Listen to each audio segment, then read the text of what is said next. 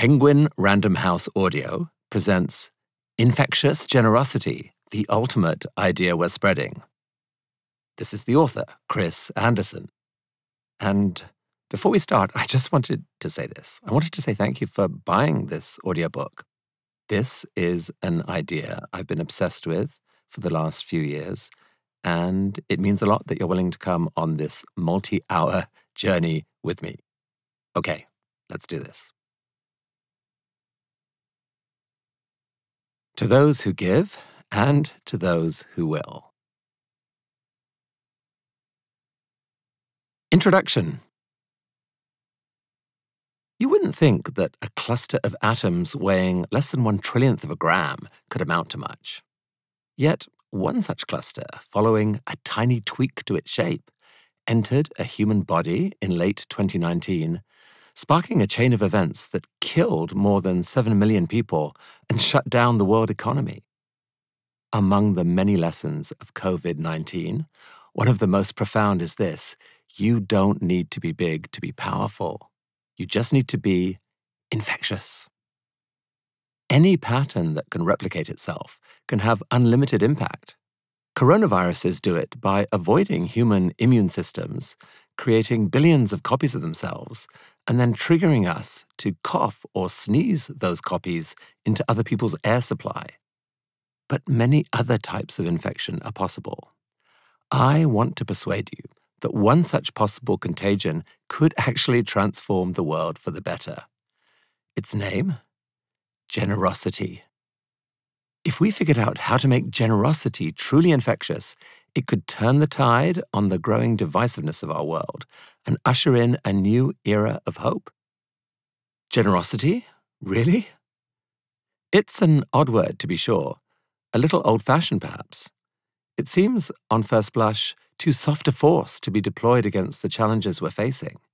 You, as an individual, may be as generous as you like, but how can your well intentioned individual gestures and sacrifices amount to anything? But that's the whole point. They can. Any generous act can have extraordinary impact if it can make the leap from isolated to infectious. With a few little tweaks to their shape, acts of generosity can become explosively powerful. This book is devoted to showing you how. Generosity's infectious potential draws from two key drivers human nature and the connectedness of the modern era. In the chapters that follow, I'll describe how overlooked traits that lie deep inside every human can combine to create chain reactions of generous behavior, and how those ripple effects can be turbocharged by the internet for world changing impact. The internet is, of course, famous for enabling contagions of all kinds, from social media memes to viral marketing. As with a virus, humans are the vector for the internet's infectiousness. Instead of replicating in noses and lungs, words and images ignite in our brains, provoking our fingers to press like or share. Alas, many of the contagions that spread online are not healthy fueled by ad driven business models that seek to glue people to their screens, social media platforms have turned the web into an outrage generating machine. Instead of seeing the best in one another, we're often seeing the worst, and it's driving us apart. I'll be tackling this problem head on.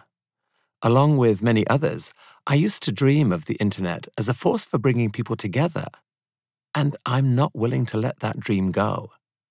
I believe that there's a pathway to reclaiming a healthier internet, with infectious generosity playing a starring role.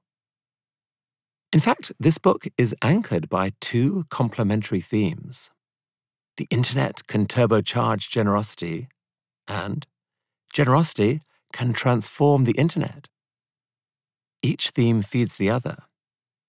If we see the internet as a scary, inhuman mass of strangers ready to judge and exploit us, it will be hard for us to trust it with our good intentions.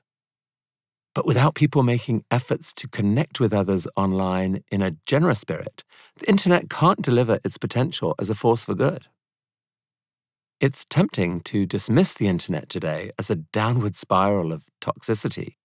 What's desperately needed is for us to start an upward cycle in which the growing visibility of a more generous version of humanity inspires people to play their part in contributing to the common good. I feel a real sense of urgency about this. We're in the early stages of seeing our world turned upside down by artificial intelligence. Guess what the source of the power of AI is? It's the internet. In essence, the most powerful AI systems are designed to digest the sum of what humans have posted online and create predictive models. Do we want to rely on AI trained with today's internet? No, we really don't. We'll risk amplifying much that is dangerous. If we can find a way to nudge the internet to a kinder, more generous, more positive place, it could have an incalculable impact on our future both directly and by providing a healthier foundation for AI. It may seem absurd to you to imagine us humans, with all our imperfections, ever overcoming the internet's woes division, disinformation, data surveillance, addiction, social media fueled insecurity, and so much more. I hear you, but I invite you to suspend judgment just for a bit. Under the radar, there are remarkable things afoot they're worth learning about.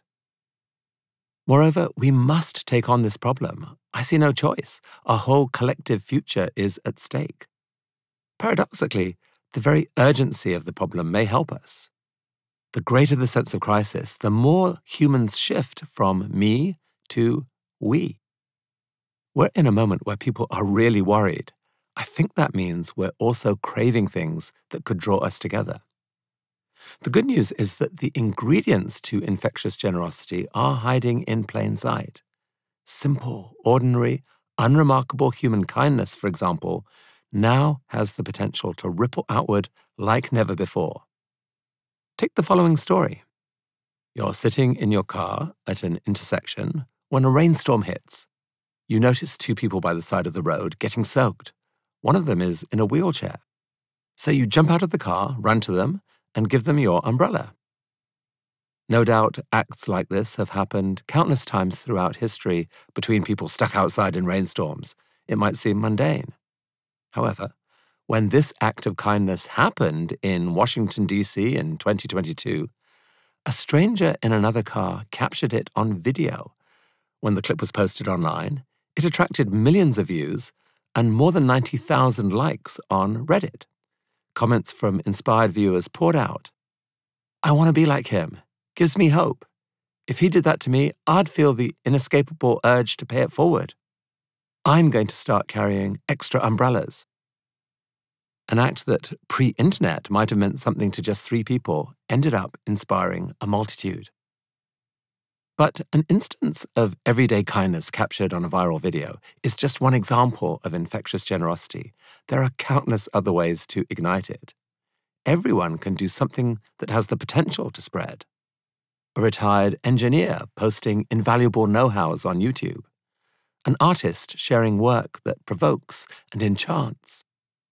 An act of human courage that inspires millions of people on social media a company that offers free courses on a technical subject in which it has expertise, a storyteller who highlights a powerful cause that an online community can fund, or just someone who wakes up grateful for something in their life and decides to pay it forward, sparking an online chain reaction.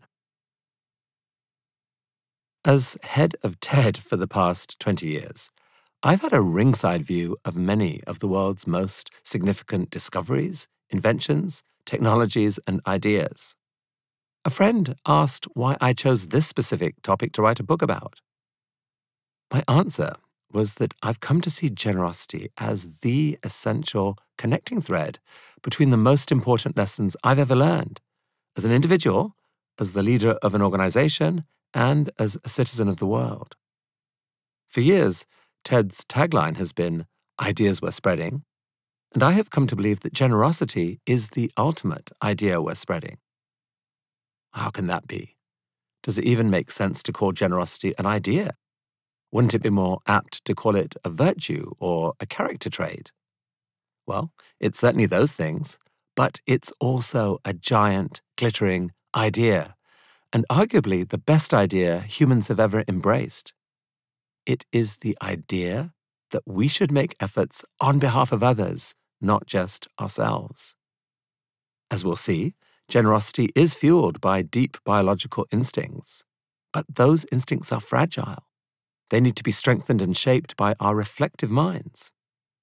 In every religion and in almost every culture, there has been an effort to elevate the role of generosity because it is the key to realizing our potential.